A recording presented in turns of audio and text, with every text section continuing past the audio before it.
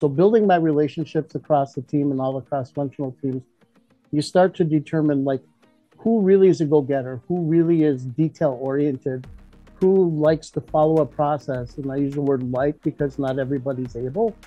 Um, and they're not forced to do it. They just believe in a process already, whether it's they, they have no exposure to DMAIC yet or anything like that, but they believe in that.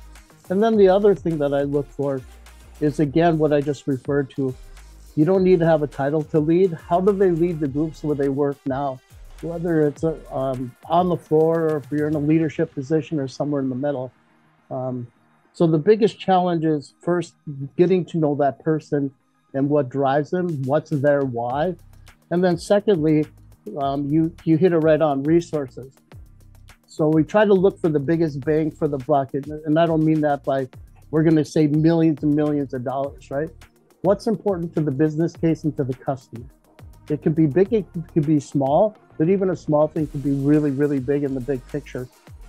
So looking at that and what time we have available, what can we keep within our scope to effectively have a good result and at the same time effectively have the person learn and be able to grow.